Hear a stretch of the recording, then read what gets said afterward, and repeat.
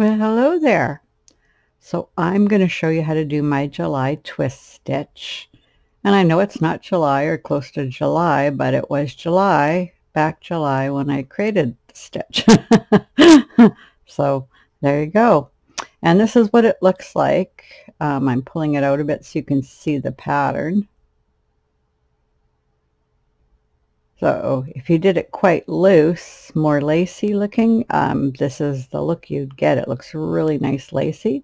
I'm doing it thicker here. So there you go.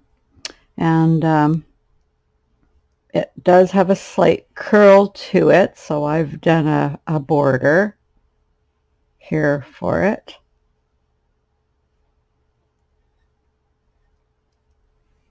And um, that's helped it a lot. You can see how it looks here. On the back, looks like that, and the edges look like that, and the edges look like that, so it all looks pretty nice. And it's a stitch video, so I'm not going to show you everything, but I will give you enough instruction that you can go ahead and make something in a flat panel or, you know, how you want just from giving you enough information. So the loom I'm using is a three quarter inch CinDWood loom. It's the one that is um, made to be like a circle set. So it's the green peg, that the green one that you'd see in the Knifty Knitter set, the 36 peg loom. Oh no, just a sec. What, how many pegs is this one? I can read it three quarter inch. Yeah, I think it's, well, it doesn't matter. We're not using all the pegs. But anyway, I'm using 1, 2, 3, 4, 5, 6, 7, 8, 9, 10, 11, 12, 13, 14 pegs. And um, it's enough to make a little scarf.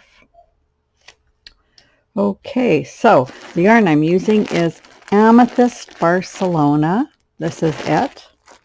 Michael's brand. And uh, we'll get to the stitch then. Okay, so all I did was mark the two pegs on each side for the end pegs. And I cast it on. And then I did garter stitch. So I cast on I did a row of knit stitch, just U-wrap, then a row of purl, then a row of U-wrap, then a row of purl, and that's what gave me this little border here to keep it from curling up or doing anything like that. And then at the sides, um, I'll show you that as we start to go. But first I'll show you the first stitch. And on my little marker here, that tells me which direction I'm doing which stitch. So the first stitch, and it's a two row uh, pattern with two different stitches.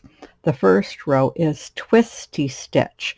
I have a twisty stitch uh, stitch video if um, you want to look more at it, but it's a pretty easy stitch. So I'll show you how to do that. So um, I've already done the end pegs. We're starting at number one peg. So we just put the yarn over in a U-wrap and we knit it off. And then we come back and do another U-wrap, but the opposite direction, and knit it off. So it's just two U-wraps, but one done this way and one done the other way. Now it's important when you do this stitch for the second stitch, this one, to be loose because if you're holding this too tight, you're never going to get this over. So you don't want to be pulling this so tight it comes over here and then you can't get it. Okay, so you want to hold it more loose so that it goes over nice and easy. Also, that'll make, give you more texture and it will save your wrist.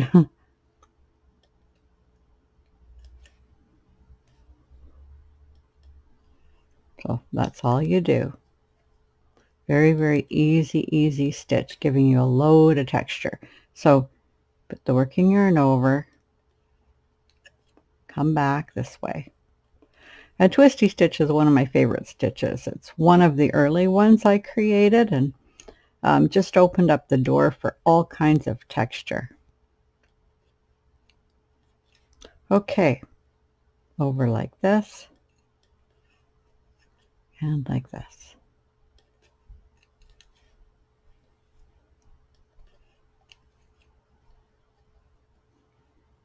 Now twisty on its own just has just a little bit of um, a tendency to curl and I wouldn't need as much here if it wasn't for the second stitch that I'm using to get this look. Okay, now whenever I get to the end pegs, I always flat, I always do a U-wrap over the first one. Okay, and then I'm doing, but you don't have to do this, you can do any edge you want. I'm just showing you an edge that'll work so that you can go ahead and do something. But then I'm going to do an E-wrap for the end peg. And I'm going to slip the stitch and come back and do a purl. And that will just keep the edge from curling. So we have this, we have this nice edge on here.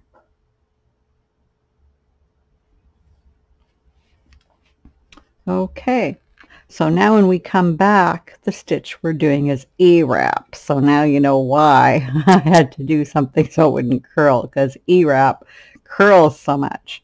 Okay, so we just E-wrap back. Now, I E-wrap by doing a peg at a time. Sometimes I'll do up to three, but that way you can keep your tension better. Nice even ten um, tension. And when you wrap all the pegs, you can lose your tension. That's how you get laddering. Because each one, you, when you have a whole row, each one you pull pulls the yarn over, and so you end up with a tendency to have more of a ladder or a hole on the other side. Okay, so that's the E-wrap. And then we're going to come back to these two pegs. So again, how I'm doing that is we just knit over in a U-wrap. We do the E-wrap. This will give us a nice slipped edge, which I don't mind when I'm doing garter border. And then come in and purl. So it's just got a purl on the return. And I'm just going to pause you for a moment because I got a frog in my throat, so I have to have a drink of water. Okay, well, hopefully that got it. so I can show you the edge one more time. So we do twisty this way. It's pretty easy stitch. That's all there is to it. Two rows. And you might find all kinds of other ways to do your edges and things, but this is just one way I worked out. So that if I did a stitch video while you were waiting for me to do a project, you could at least do something in the meantime with the stitch.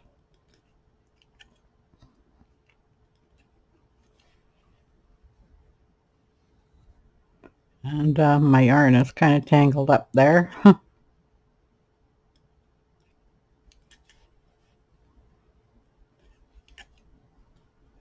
But I think I have enough to get to the other end here. We'll see. there.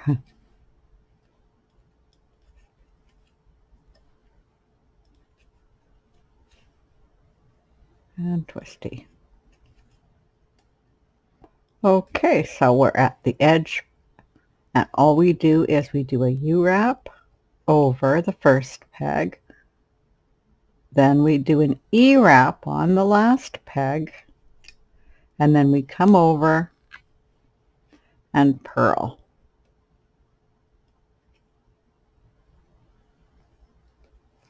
Okay, and that's what's giving me this nice edge here.